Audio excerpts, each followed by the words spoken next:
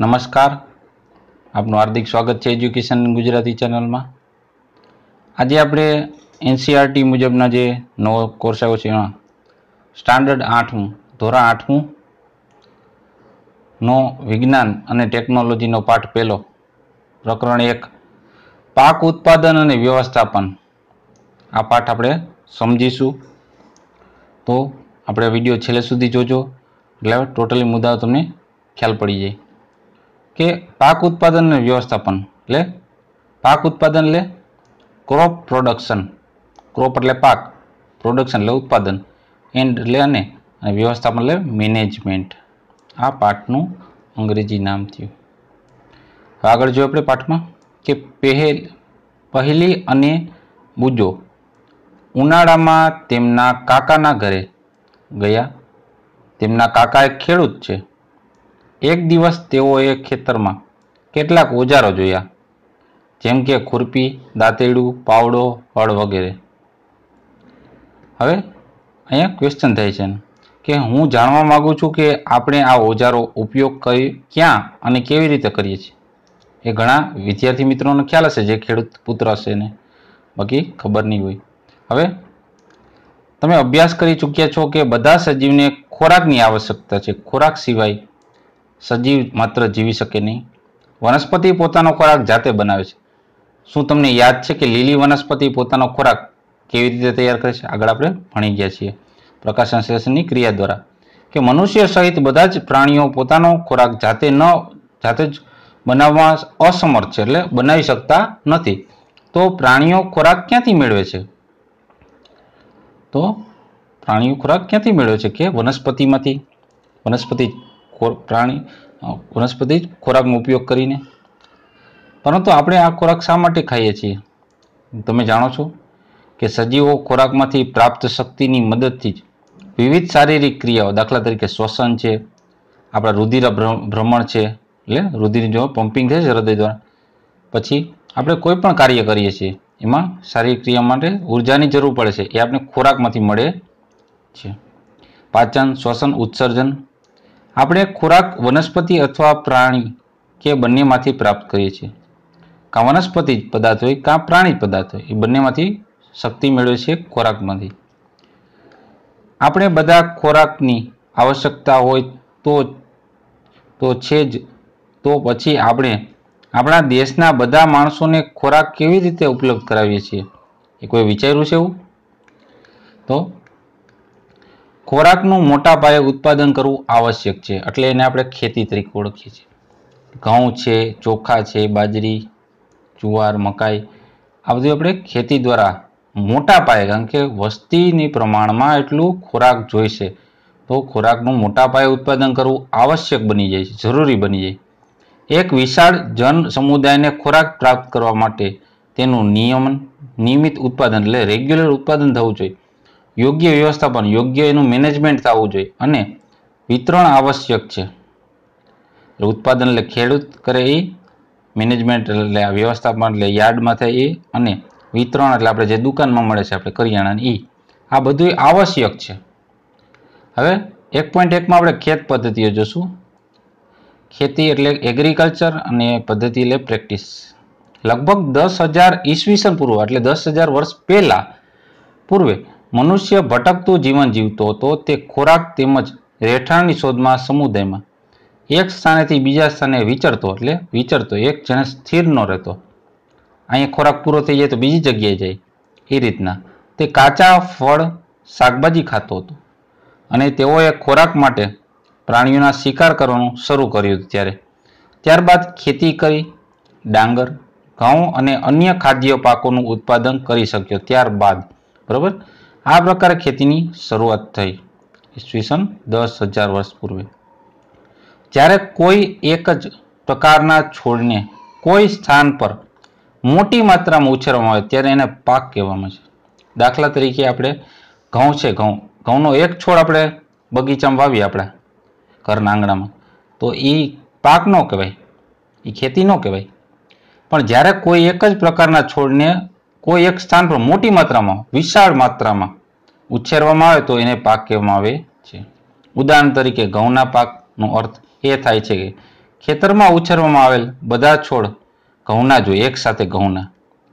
તમે જાણો છો કે પાક વિવિધ પ્રકારના હોય છે, જેમ કે અનાજ, શાકભાજી, તેમજ ફળ જેવા. જે ઋતુમાં આપણે પાક ઉગાડીએ છીએ, તેને આધારે એનું વર્ગીકરણ પણ કરી શકીએ છીએ, જુદા પાડી શકીએ છીએ, તારવણી કરી શકીએ છીએ ભારત એક વિશાળ દેશ છે. અહીં તાપમાન, ભેજ, વરસાદ જેવી વાતાવરણીય પરિસ્થિતિ એ ક્ષેત્રથી બીજા ક્ષેત્રમાં જુદી હોય છે. હવે આપણે દાખલા તરીકે કોઈ ગામ સિટીમાં રહેતા હોય, તો ત્યાંથી તમે દસ કે બાર કિલોમીટર કે પચીસ કિલોમીટર આગળ વધો, એટલે વાતાવરણમાં, એની જમીનમાં, ત્યાંના ભેજમાં, ત્યાંના વરસાદની વાતાવરણીય પરિસ્થિતિ, આ બધામાં ફેરફાર જોવા મળે છે. એને લગતા જ ત્યાં પાક ઉત્પાદન થતા હોય છે. ક્ષેત્રમાં ભિન્ન ભિન્ન હોય છે દરેક ક્ષેત્રમાં. તો આપણે વાત કરી. આથી દેશના વિવિધ ભાગો ઉપર વિવિધ પ્રકારના પાક ઉછેરવામાં આવે છે. આ વિવિધતા ઉપરાંત મોટા ભાગે પાકને બે વર્ગમાં વેચી શકાય છે.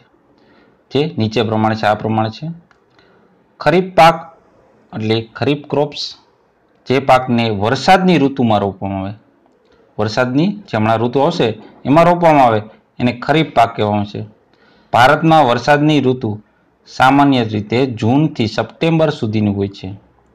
જેમાં ડાંગર, મકાઈ, સોયાબીન, મગફળી, કપાસ જેવા ખરીફ પાક ઉગાડવામાં આવે છે, વાવવામાં આવે છે. બરાબર? હવે ખરીફ પછી આવશે રવિ, કે જે ખરીફ એટલે ચોમાસું પૂરું થઈ જાય પછી આની લણણી થઈ જાય પછી રવિ પાક વાવવામાં આવે. તો રવિ પાક શિયાળામાં રોપવામાં આવે છે, પાકને રવિ પાક કહે છે. તેમનો સમયગાળો સામાન્ય રીતે ઓક્ટોબરથી માર્ચ સુધીમાં હોય છે, જેમાં ઘઉં, ચણા, વટાણા, રાઈ અને અળસી જેવા રવિ પાકનું ઉદાહરણ છે. તદુપરાંત ઘણા સ્થાને કઠોળ અને શાકભાજી પણ ઉનાળામાં પણ ઉગાડવામાં આવે છે, જ્યાં પાણીની સુવિધા હોય ત્યાં. હવે આપણે એક પોઈન્ટ બેમાં જોઈશું પાક ઉત્પાદનની મૂળભૂત પદ્ધતિઓ. Basic practice of crop production કે ડાંગરને શિયાળામાં શા માટે ઉછેરવામાં નથી આવતું? એનું કારણ? કારણ કે ડાંગરને વધારે માત્રામાં પાણી જોઈતું હોવાથી માત્ર ચોમાસામાં જ ઉછેરવામાં છે. કારણ કે શિયાળામાં એટલું પાણી હોતું નથી. પૂરતું પાણી ન હોય તો એનો વિકાસ થાય નહીં એટલો. પાકને ઉછેરવા માટે ખેડૂતને અનેક પ્રવૃત્તિઓ સમયાંતર કરવી પડશે તમે જોશો કે આ પ્રવૃત્તિ જો પ્રકારની છે કે જેનો ઉપયોગ માળી અથવા તમે સુશોભનીય વસ્તુ તમારા ઘર આંગણે ઉછેરવામાં આવે? એમ કરો છો, પણ આ પ્રવૃત્તિ અથવા કાર્યને ખેત પદ્ધતિઓ કહેવામાં આવે છે. પણ એ વિશાળ પાયે હોય છે. આ કાર્ય પદ્ધતિઓ નીચે પ્રમાણે છે. સૌ પ્રથમ ખેડૂત શું કરશે? ભૂમિ જમીન છે એ તૈયાર કરશે. વ્યવસ્થિત તૈયાર કરશે. ચાસા પાડીને વ્યવસ્થિત. પછી એના પછી ભૂમિ તૈયાર કમ્પ્લીટ થઈ પછી એમાં છોડની રોપણી કરશે. ત્યારબાદ એમાં કુદરતી અને કૃત્રિમ ખાતર જેટલું જરૂરિયાત હોય પ્રમાણે આપશે. ત્યારબાદ સિંચાઈ. પાણીની સુવિધા પૂરી કરશે સિંચાઈ કરશે, છોડને પાણી આપશે. સિંચાઈ કર્યું, પાણી આપ્યું, એટલે નીંદણ થશે. નીંદણ એટલે વધારાની જે વનસ્પતિ, બિનજરૂરી છે. તો નીંદણથી રક્ષણ આપશે. પછી નીંદણથી રક્ષણ આપી દે પછી પાક તૈયાર થઈ જાય, એટલે એનું લણણી કરશે, કટિંગ કરશે, એનું પાકનું ત્યારબાદ પાકને વ્યવસ્થિત એક જગ્યાએ સંગ્રહ કરવામાં આવશે. જેથી બીજી ઋતુમાં આપણે આનો ઉપયોગ કરી શકીએ. હવે એક પોઈન્ટ ત્રણમાં આપણે જોઈશું ભૂમિને કઈ રીતના તૈયાર કરવી. આગળ જે પોઈન્ટ આપણે જોયા, હવે ડિટેલમાં જોઈશું કે પાક ઉછેરતા પહેલાં ભૂમિને તૈયાર કરવી પ્રથમ ચરણ છે. સૌ પ્રથમ માટીને ઉથલાવી અને પોચી બનાવી તેને ખેતીનું મહત્વપૂર્ણ કાર્ય છે. માટી ઉથલાવાથી શું થશે? એમાં જમીનમાં રહેલા પોષક તત્વો એક સરખા થઈ જશે. તેમજ પોચી બનશે એટલે એને હવા, પાણી અને સૂર્યપ્રકાશ વ્યવસ્થિત રીતના મળશે. આથી મૂળ જમીનમાં ઊંડાઈ સુધી જઈ શકે. પોચી માટે શા માટે? પોચી માટી, શા માટે મૂળને શોષણ કરવાનું સહાય કરે છે? કારણ કે પોચી માટીમાંથી રહેલા અળસિયા એમાં પોચી માટી થાય એટલે એમાં અળસિયા જે હોય કુદરતી. બરાબર? અળસિયા ખેડૂતના મિત્રો છે એટલે અળસિયા અને સૂક્ષ્મ જીવોની વૃદ્ધિ કરવામાં સહાય કરે છે. આ સજીવો ખેડૂતના મિત્રો છે, કારણ કે તે માટીને ઉપર નીચે કરી જમીનને પહોંચી કરે છે. જે ખેડૂત કાર્ય કરે છે, એ જ અળસિયા પોતે કાર્ય કરે છે. તેમાં સળતા સેન્દ્રિય પદાર્થો, એટલે એમાં જે સેન્દ્રિય પદાર્થ હોય, પાંદડા હોય, કાંઈ બીજો વધારાનો કચરો હોય, તો એ સેન્દ્રિય પદાર્થ છે, એમાં ઉમેરો કરે છે કોણ? અળસિયું. એટલે પોતે ખોરાક ખાય તો એમાં સેન્દ્રિય પદાર્થ ઉમેરતા જાય. પરંતુ શા માટે માટીને ઉપર નીચે કરી પોચી કરવાની આવશ્યકતા છે? એવું પ્રશ્ન થાય છે. તો તમે અગાઉના ધોરણમાં અભ્યાસ કરી ચૂક્યા છો કે માટીમાં ખનિજ, પાણી, વાયુ તથા કેટલાક સજીવો જોવા મળે છે. તદુપરાંત મૃત વનસ્પતિ એટલે વનસ્પતિ જીવિત ન હોય એવી મૃત વનસ્પતિ એવા છોડ નાના નાના, તેમજ પ્રાણીઓ પર પણ જમીનમાં જોવા મળતા સજીવો દ્વારા વિઘટન પામે છે. એટલે એનું ધૂળમાં ભળી જાય એમ. આ રીતે મૃતદેહમાં જોવા મળતા કેટલાક પોષક તત્વો જમીનમાં ભળી જાય છે અને આ પોષક તત્વો વનસ્પતિ દ્વારા શોષણ પામે છે એટલે ખાતર બની જાય. કારણ કે ઉપરની સપાટી પરની કેટલાક સેન્ટીમીટર સુધી જ ભૂમિ વનસ્પતિઓની વૃદ્ધિ સહાય કરે છે. મૂળિયા બહુ ઊંડા જાય નહીં. તેને ઉલટાવાથી અને પોચી કરવાથી પોષક તત્વોયુક્ત ભૂમિ નીચેની જે ભૂમિ છે, ત્યાં છોડનું મૂળ નથી પૂગ્યું. એ પોષક તત્વયુક્ત ભૂમિ ઉપરની તરફ આવી જાય અને વનસ્પતિ આ પોષક પદાર્થનો ઉપયોગ કરી શકે. એટલા માટે માટીને ઉપર નીચે કરી, પોચી કરી, પાક રોકવા માટે અત્યંત મહત્વપૂર્ણ છે.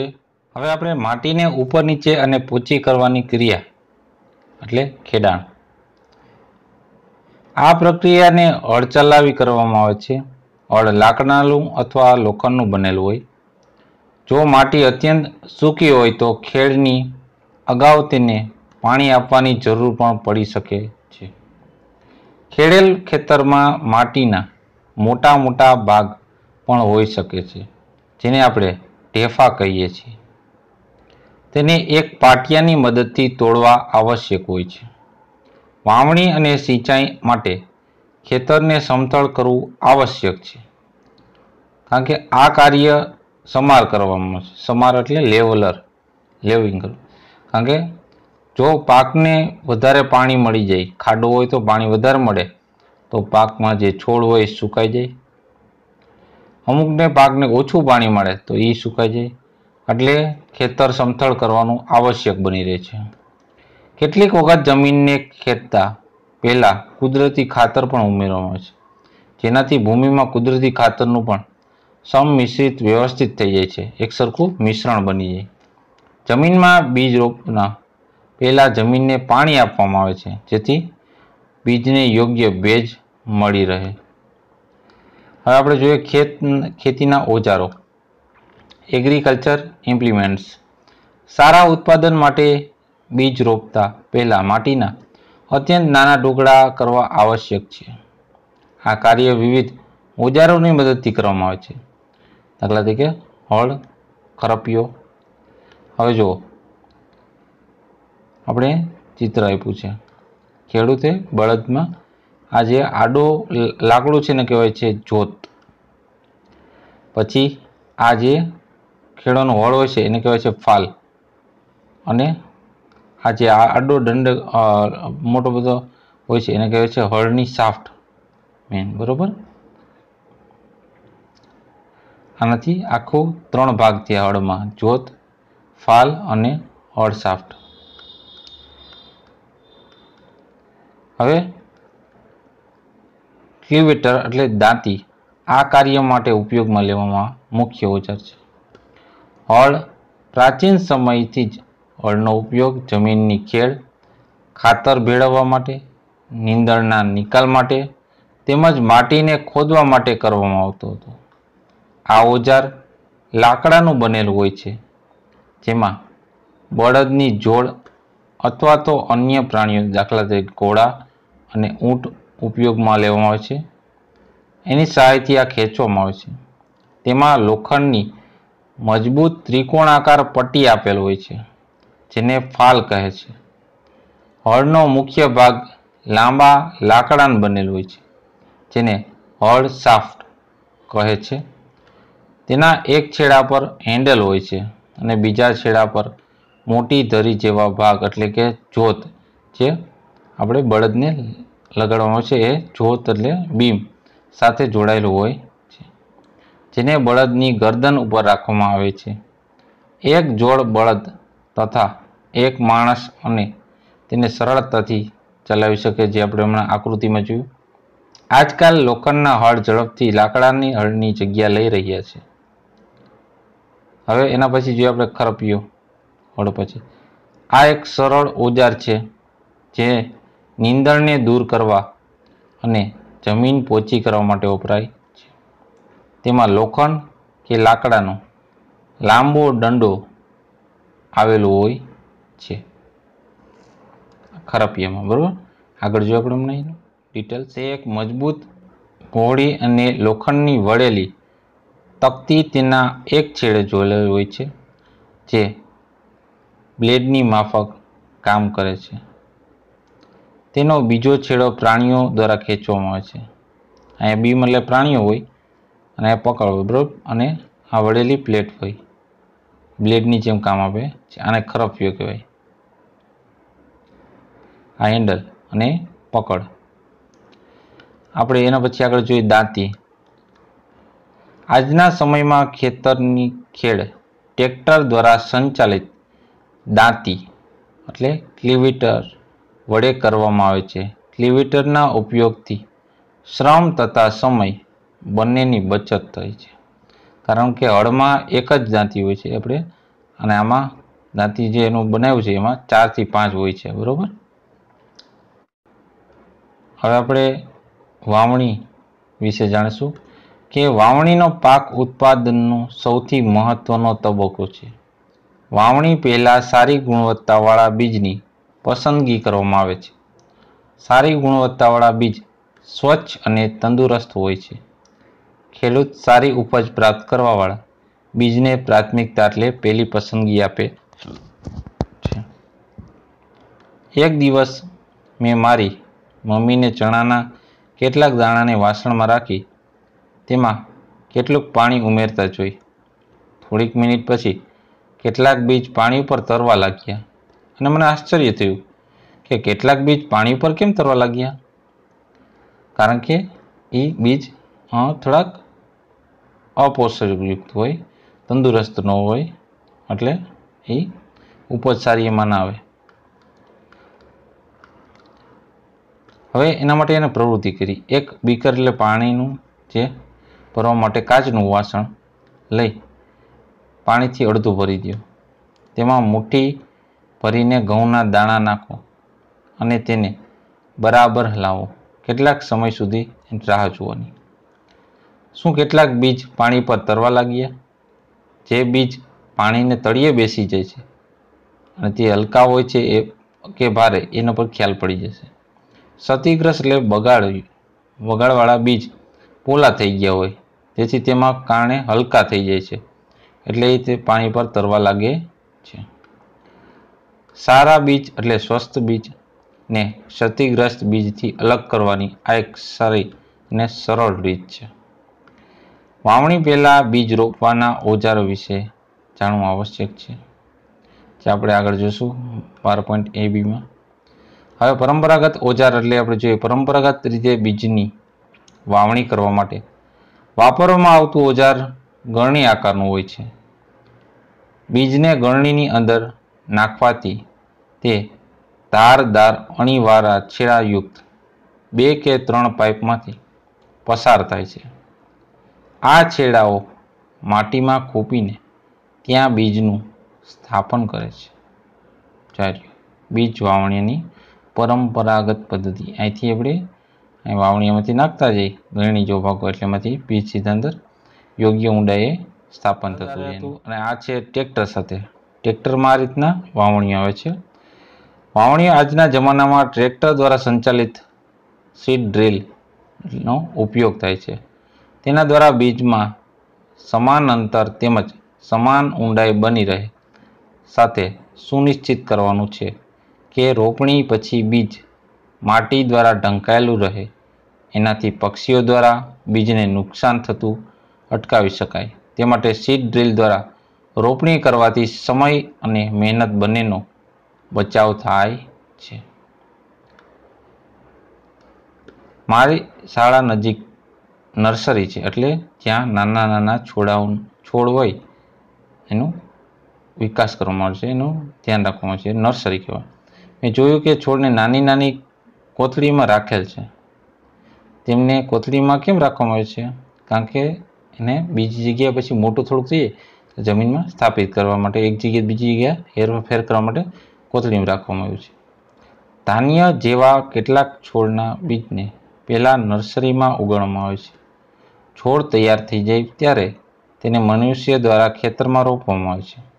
કેટલાક જંગલના વૃક્ષો તેમજ પુષ્પીય વનસ્પતિઓના પણ નર્સરીમાં ઉગાડવામાં આવે છે, કે જે સામાન્ય જીવનમાં ન ઉગતા હોય બે છોડની વચ્ચે થતી ગીચતાને રોકવા માટે બીજની વચ્ચે આવશ્યક અંતર હોવું અત્યંત મહત્વપૂર્ણ હોય છે.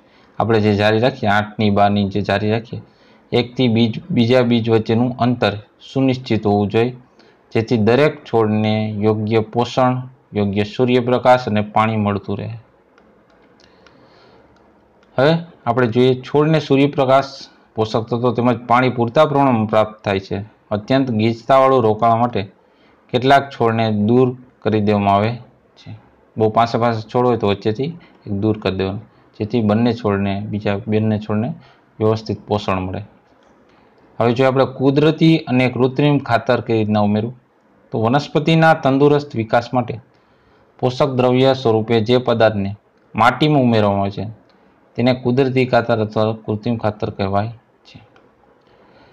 મેં એક ખેતરમાં ઉગાડેલા સ્વસ્થ પાકને જોયો જ્યારે પાસેના ખેતરના છોડ નબળા હતા અને કેટલાક છોડ અન્ય છોડની સરખામણીમાં વધારે સારી રીતે એ કઈ રીતના ઉગે છે? તો ભૂમિ પાકને ખનિજ દ્રવ્યો તત્વો પ્રદાન કરે છે. જે પાકની વૃદ્ધિ માટે આવશ્યક છે. ખનિજ તત્વો. કેટલાક ક્ષેત્રમાં ખેડૂત ખેતરમાં એક પછી બીજો પાક ઉછેરે છે. ખેતર ક્યારેય ખાલી છોડતા નથી. કલ્પના કરો કે પોષક દ્રવ્યોનું શું થાય? બધા પોષક દ્રવ્યો છોડ ખેંચે જ રાખે જમીનમાંથી. તો જમીનમાં પોષક તત્વોની ઉણપ આવે ને? અભાવ થાય. સતત પાકને ઉગાડવાથી માટીમાંથી કેટલાક પોષક દ્રવ્યો ઓછા થઈ જાય છે. આ ક્ષતિ પૂરી કરવા માટે ખેડૂત ખેતરમાં કુદરતી ખાતર આપે છે. આ પ્રક્રિયાને ખાતર આપવાની ક્રિયા કહેવાય છે. અયોગ્ય અથવા અપૂરતા કુદરતી ખાતર આપવાથી છોડ નબળા પડી જાય છે. કુદરતી ખાતર એક કાર્બનિક એટલે જૈવિક પદાર્થ છે, જે વનસ્પતિ અથવા તો પ્રાણીઓના વિઘટનથી પ્રાપ્ત થાય છે. એટલે સુકાઈ ગયેલી વનસ્પતિ હોય, પછી છાણ હોય, એ બધામાંથી આ પ્રાપ્ત કરવામાં છે. ખેડૂત વનસ્પતિ તેમજ પ્રાણીના નકામા દ્રવ્યોનો એક ખાડામાં એકઠા કરી તેનું વિઘટન થવા માટે એટલે એને સડવા માટે ખુલ્લા છોડી દે છે. વિઘટન કેટલાક સૂક્ષ્મજીવો દ્વારા થાય છે. વિઘટિત પદાર્થને કુદરતી ખાતરના સ્વરૂપે ઉપયોગમાં લેવામાં આવે છે. તમે એ ધોરણ છઠ્ઠામાં વર્મી કોમ્પોસ્ટ ખાતર અથવા તો અળસિયાના ખાતર તૈયાર કરવા વિશેનો અભ્યાસ કરી ચૂક્યા એ એ જ ખાતર છે. હવે એક પ્રવૃત્તિ કરાવી છે. મગ અથવા ચણાના દાળને લઈ તેને અંકુરિત કરો. તેમાંથી એક જ આકારના સરખા પ્રાંકુરનો પસંદ કરો. ત્રણ ગ્લાસ લેશો એબીસી જેના પર નિશાન કરો. ગ્લાસ એમાં થોડીક માટી લઈ થોડુંક છાણિયું ખાતર ભેળવો. ગ્લાસ બીમાં સમાન માત્રામાં માટી લઈ થોડુંક યુરિયા ઉમેરો. ગ્લાસ સીમાં થોડાક માટી લઈ કાંઈ પણ ઉમેર્યા વગર છોડી દો. હવે ત્રણેય ગ્લાસને માત્રામાં પાણી ઉમેરી પ્રાંકુરને રોપી દો એટલે જેવલું વિકાસ થઈ ગયો હોય, મગ અને ચણાનો, એને આપણે પ્રાંકુર કહેવાય. બરાબર? નાનકડો છોડ છે એ. રોપી દો અને સુરક્ષિત સ્થાન પર મૂકી દો સાતથી દસ દિવસ પછી વૃદ્ધિનો અભ્યાસ કરો. શું તમને જોવા મળે છે? પ્રાંકુરનો, બરાબર? આ તૈયારી છે પ્રયોગની અને આ પ્રાંકુર કુદરતી કૃત્રિમ ખાતર સાથે ઉછેરવામાં આવે છે. એની પ્રવૃત્તિ છે. શું ત્રણેય ગ્લાસમાં છોડની વૃદ્ધિ માત્ર એક સમાન છે? કયા ગ્લાસની છોડની વૃદ્ધિ સારી છે? કયા ગ્લાસમાં છોડની વૃદ્ધિ ઝડપી થાય છે? તો છાણિયું ખાતર હશે ને યોગ્ય પાણી છે એમાં વૃદ્ધિ ઝડપી થશે. કૃત્રિમ ખાતર એવા રાસાયણિક પદાર્થ છે કે જે વિશેષ પોષક તત્વો સમૃદ્ધ હોય છે. તે કુદરતી ખાતર કેવી રીતે અલગ કરે છે? કૃત્રિમ ખાતરનું ઉત્પાદન કારખાનામાં કરવામાં છે. કૃત્રિમ ખાતરના કેટલાક ઉદાહરણ જેવી કે urea, ammonium sulphate super phosphate potash, NPK, એટલે નાઇટ્રોજન, ફોસ્ફરસ, પોટેશિયમ આમ ત્રણેય આવે છે. તેના ઉપયોગથી ખેડૂતને ઘઉં તથા મકાઈ જેવા પાકની સારી ઉપજ પ્રાપ્ત કરવામાં સહાયતા મળે છે. પરંતુ કૃત્રિમ ખાતરના અત્યંત વધારે પડતા ઉપયોગથી જમીનની ફળદ્રુપતામાં ઘટાડો પણ થાય છે.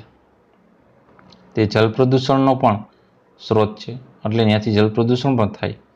એટલે કે જમીનના ફળદ્રુપતા બનાવી રાખવા માટે આપણે કૃત્રિમ ખાતરના સ્થાને કુદરતી ખાતરનો ઉપયોગ કરવો જરૂરી છે, જોઈએ.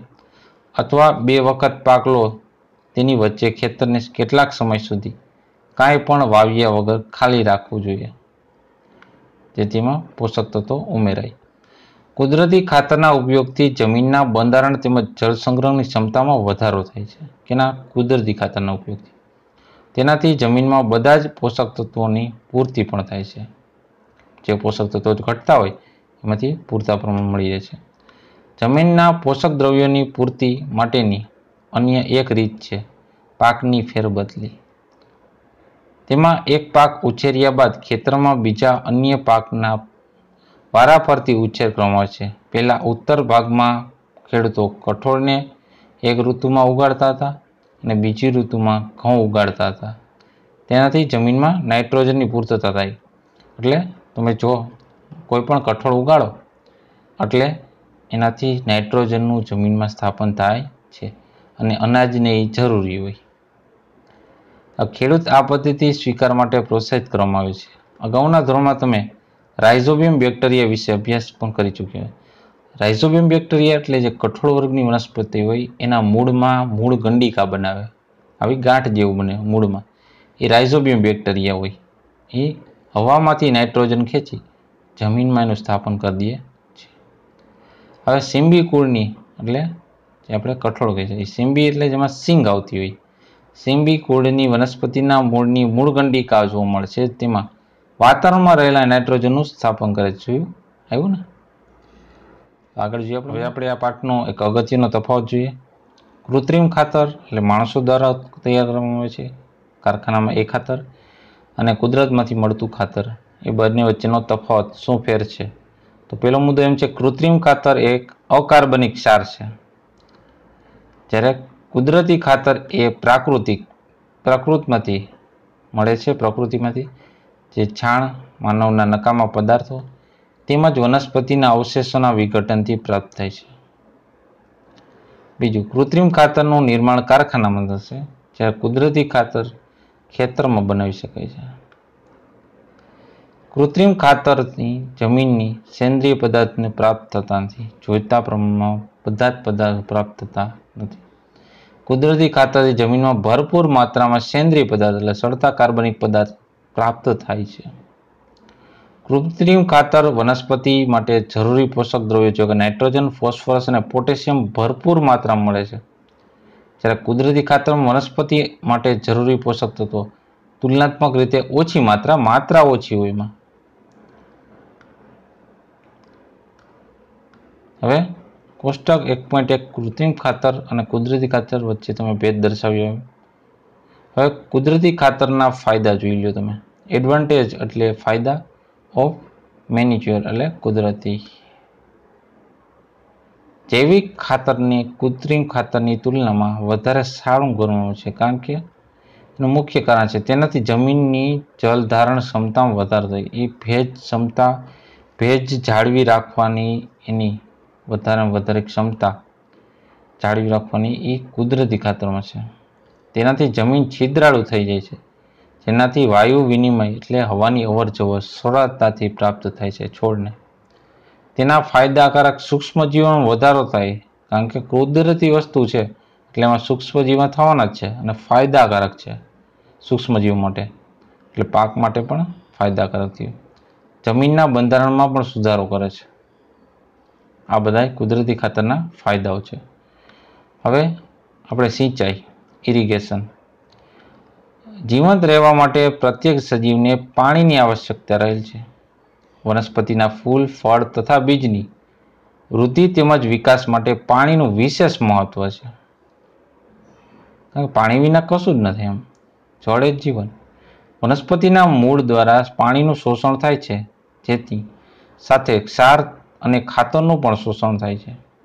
વનસ્પતિમાં લગભગ નેવું ટકા પાણી હોય છે. પાણી આવશ્યક છે, કારણ કે બીજનું અંકુરણ શુષ્ક પરિસ્થિતિમાં એટલે સૂકી પરિસ્થિતિમાં થતું જ નથી. પાણીમાં ઓગાળેલ ખનિજોનું વહન વનસ્પતિના પ્રત્યેક ભાગમાં તે પાકને ઠંડી એટલે હિમ તેમજ ગરમ થવાથી રક્ષણ પામ આપે છે. ઠંડી સામે અને ગરમી સામે પાણી છોડને રક્ષણ આપે છે. સ્વસ્થ પાકના ઉછેર માટે જમીનમાં પાણીનો ભેજ જાળવી રાખવા માટે ખેતરમાં નિયમિત રૂપે પાણી આવવું આવશ્યક છે. સમયાંતરે ખેતરમાં પાણી પૂરું પાડવાની ક્રિયાને સિંચાઈ કહેવાય છે. સમયાંતર એટલે ચોક્કસ સમયના અંતરે દસ દિવસ, પંદર દિવસ, અઠવાડિયું એમ છોડને પાણી આપવું એ ક્રિયાને સિંચાઈ કહેવાય.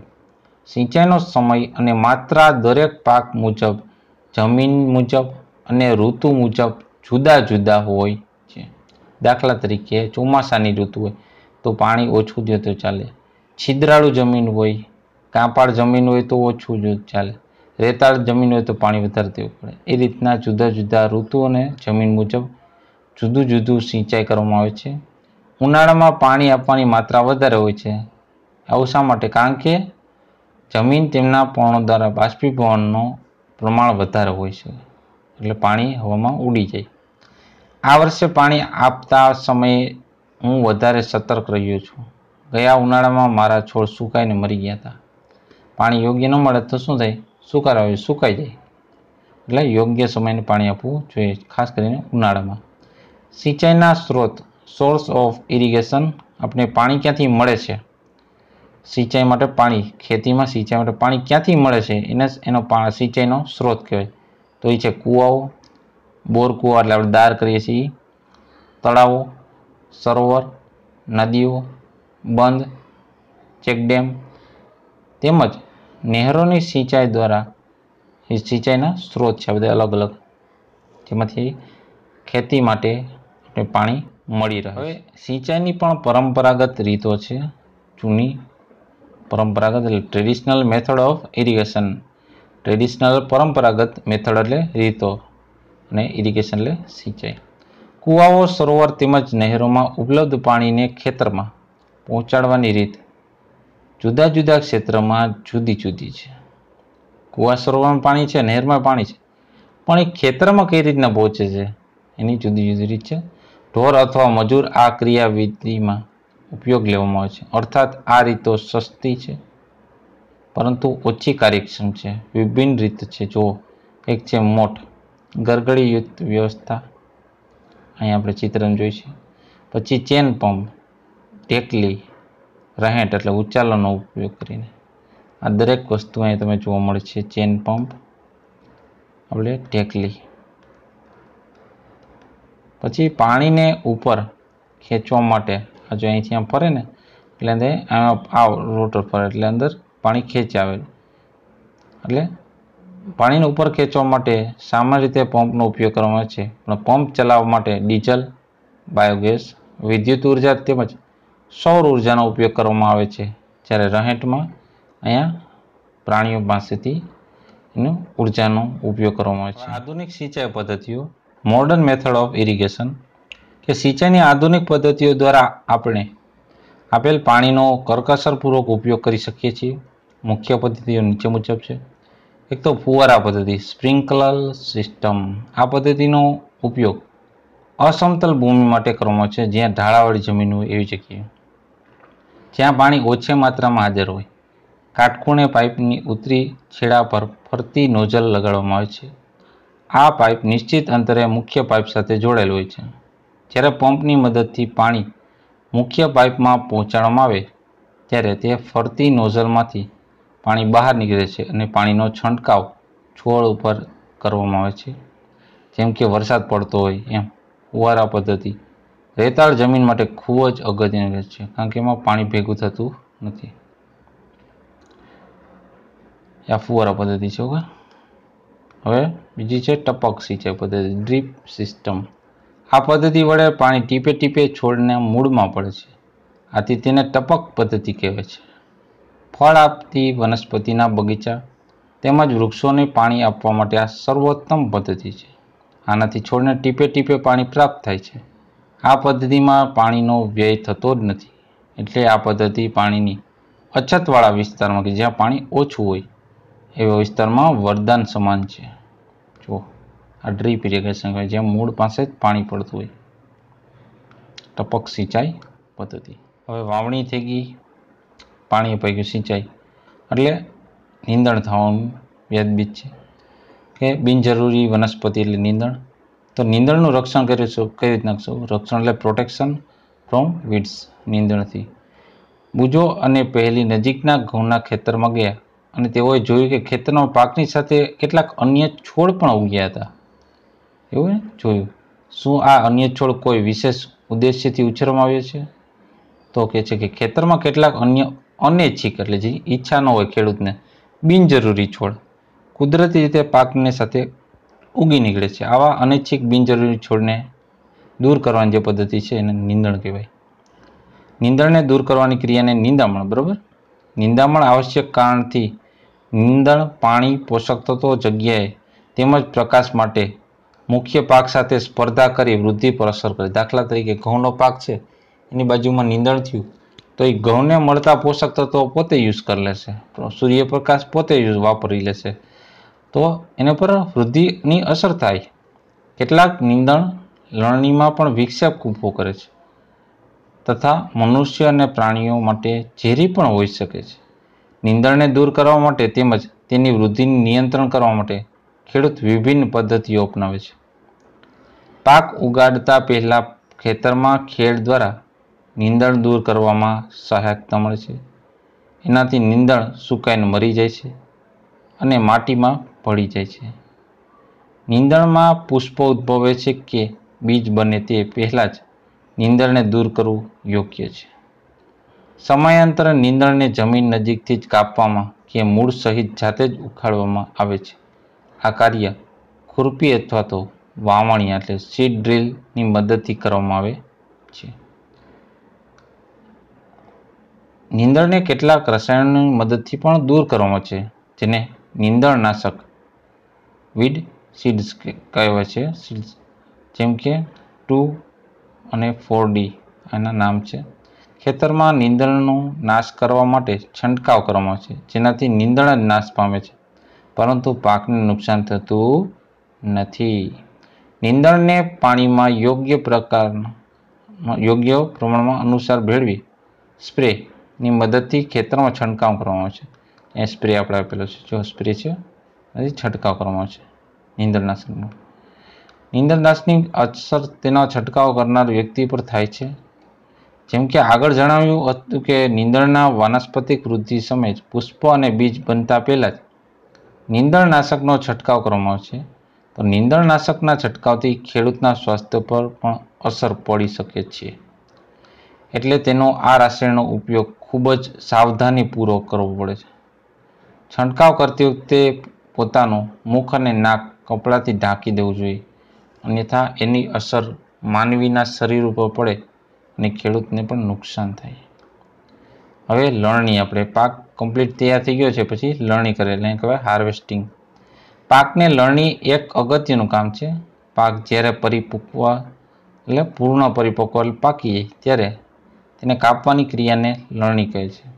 લણણી દરમિયાન કાં તો છોડને ખેંચીને ઉખાડી લેવામાં છે અથવા તો તેને જમીન નજીકથી કાપી લેવામાં આવે છે.